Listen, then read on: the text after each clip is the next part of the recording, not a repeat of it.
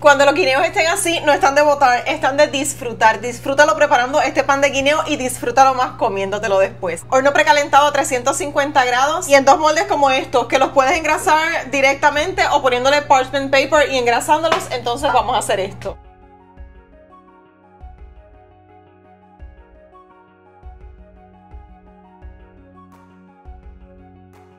Dos y media tazas de harina de todo uso, dos cucharaditas y media de baking powder, una cucharadita de baking soda y una cucharadita de sal.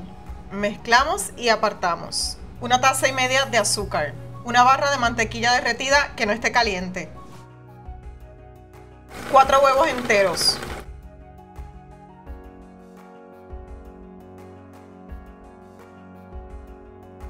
añadimos los guineos.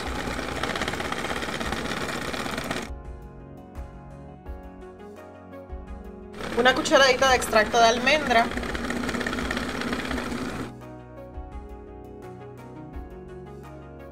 Y por último la harina.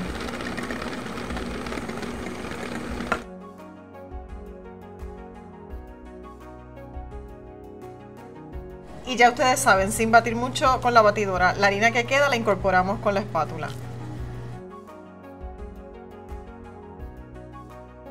Si te gustan las nueces, entonces añade nueces a gusto. Si no te gustan, no lo hagas. Y puedes hacerlo en un molde con nueces y en el otro sin nueces.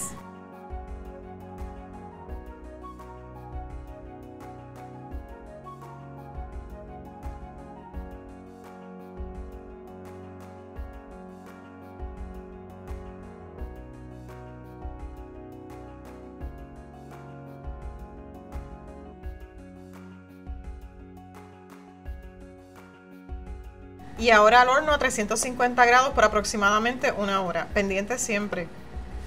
¿Están listos?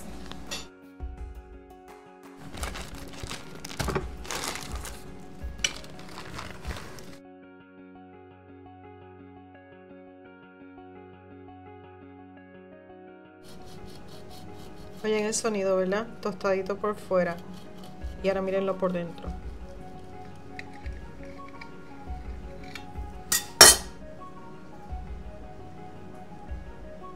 Ustedes ya saben cómo es que yo soy apuradita y me voy a quemar, me voy a quemar, pero no importa porque esto lo pruebo ahora.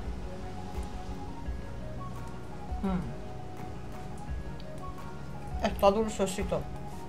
Mientras más maduros estén los guineos, mientras más tú te creas que tienes que botarlos, más rico te va a quedar este pan. Así que no los botes y si es que no los tienes, pues cómpralos y déjalos madurar. Déjalos madurar mucho, que se pongan así bien feos, bien feos. Y cuando estén bien feos, es que este pan te va a quedar bien rico. Haz esto y te acordarás de mí.